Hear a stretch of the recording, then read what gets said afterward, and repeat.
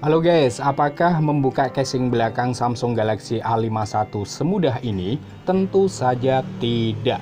Di sini kita butuh perjuangan karena casingnya ini menggunakan lem. Jadi di sini kita harus panasi agar lemnya ini mudah terlepas.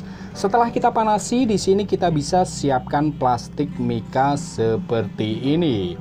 Lalu kita bisa congkel backdoornya. Cari celah, selipkan plastik mika ini agar backdoornya bisa kita lepaskan. Namun di sini perlu hati-hati, di bawah casing ini ada fleksibel antena atas dan bawah.